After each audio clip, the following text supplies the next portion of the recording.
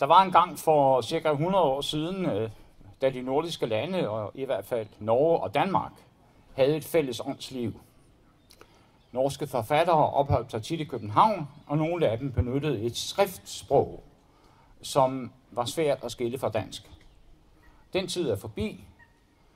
Trods lejlighedsvise festtaler øh, om det nordiske samarbejde, så er det tydeligt, at vi er klædet stadig mere fra hinanden. Og i øvrigt interesserer vi os ikke særlig meget for, hvad der sker hos vores naboer.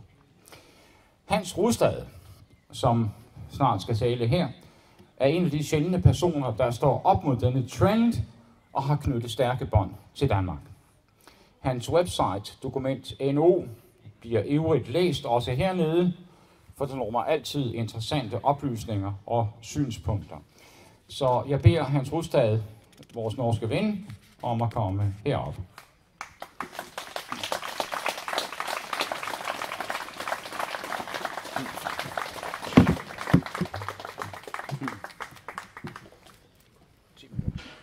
10 minutter? Ja. ja. Okay. Ja, tak Lars øhm, for de venlige ord. Øhm, jeg kommer lige fra denne her uge, har jeg først været på Tideværvskonference i fire dage, og så to dage i Hamburg. Og der er mange indtryk, man kan sige meget ud fra de her indtryk. Uh, Hamburg er jo en helt anden by. Uh, men først skal jeg sige og lidt om uh, det spørgsmål, jeg har stillet på din fasting. Hvad vil vi kalde den tid, vi nu lever? Hvad vil vi kalde den tid, vi nu lever i?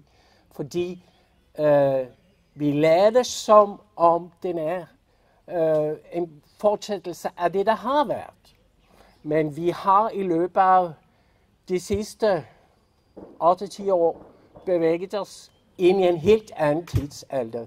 Den eneste, jeg kan, det jeg kan sammenligne med, er senantikken, hvor centrum forfaldt, og folk strømte ud af byerne og grundlag, altså søgte sammen på store godslatifundier, hvor de kunne forsvare sig.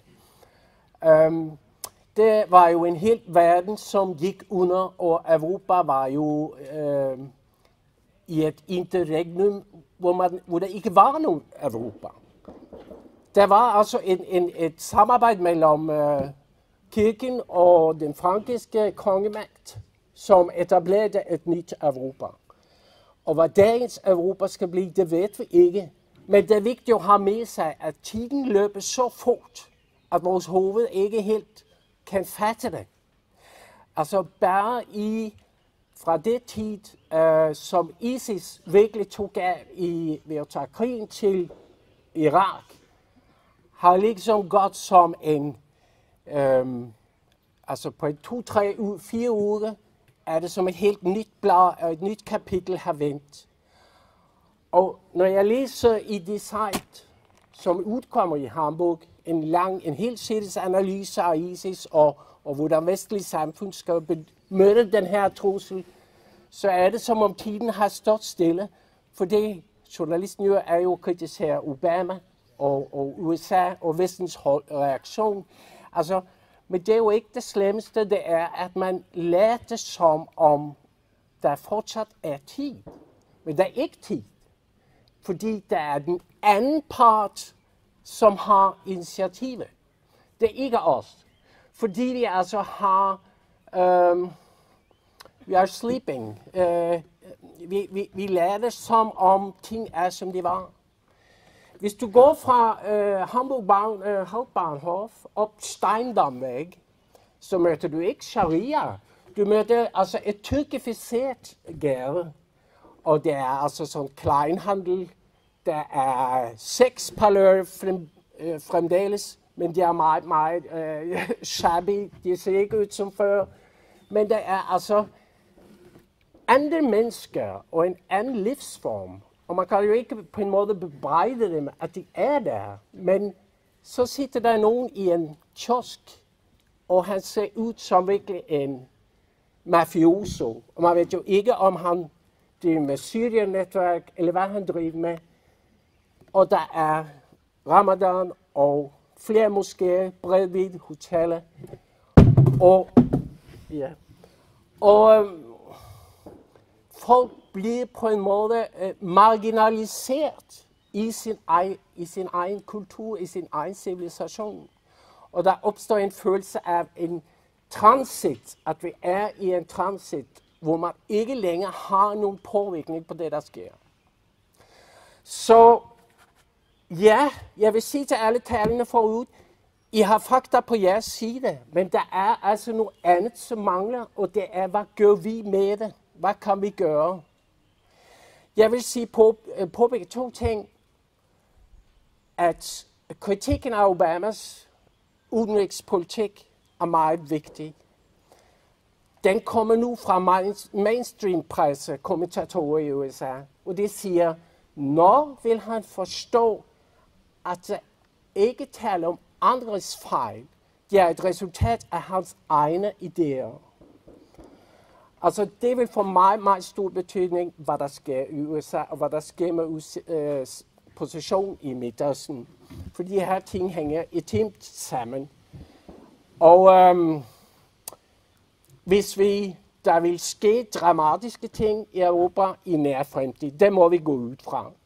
Og hvordan vil altså øh, lederne reagere? Hvordan vil befolkningen reagere? Jeg ønsker mig ikke et samfund, hvor vi altså, for eksempel som siger her, skal begynde at omgive os med væbnede vagter. Altså, tendensen til, at vi selv øh, skal gå rundt, der kommer mennesker til os og siger, skal vi beskytte dig? Men altså, den fysiske trussel er helt reelt. Også for en dette her. Jeg ved, jeg ved ikke, om det er muligt at holde et uden bevogtning næste år. Der er også mennesker, der passer på sig i dag, heldigvis. I Norge tror jeg ikke, det ville være muligt. Jeg tror ikke, politiet ville være interesseret at passe på et møde, som var under den såkaldte høje fløj.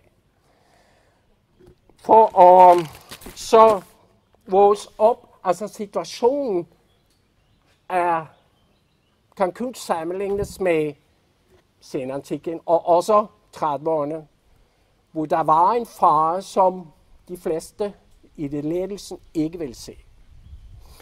Så, men øh, Morten Uskab, du talte om, hvordan man kan bevare et folk. Jeg hørte en tale om, øh, så kommer vi ikke udenom at tale om kristendommens betydning for Europa. Fordi det, der sker, når kristendommen øh, smides ud, er, at vi får et meget, meget brutalt samfund. Øh, med kristendommen kom barmhjertigheden ind i Europa, og Judas humane. Og jeg tror altså, for at sige det kort, øh, måden at møde islam og muslimer på, er at have et kristent udgangspunkt og sige, at de må også, og også et oplysningstidsudgangspunkt, de må også befries. Altså det er med en type empati, en type befriung, at man siger, at sorry, øh, jeres religionsform kan altså ikke eksistere sammen med andre, uden at ende i forfærdelse. Og det må man sige ud fra en slags kærlighed. Så jeg tror ikke, man kan liksom dynge op alle negativene, fordi der findes en kritisk offentlighed, både i Europa, særligt i USA, som har læst tegnene for længe siden. De ved udmærket godt, hvad der sker, og de ser alle tegnene på, hvilken retning samfundet bevæger sig. Og tro mig, der er meget tvivl i de lærende kredser, de ved ikke, hvad de skal gøre. De er som et runaway train, og vores opgave er både at fortælle dem, at de er på vildspor, men også at finde sammen med, hvad der er civilisation, civilisationens kerne. Og der, øh, så tror jeg faktisk, altså jeg også må stille nogle spørgsmål om religion, om kristendommens betydning. For 68'erne sagde, at vi kan afskaffe det hele, vi trænger det ikke. Men nu har vi pludselig opdaget, at hvis der er ingen, der tror, så er der nogen, der forsvinder og går fløjten. Ja, tak for mig, kære dansker. Ja.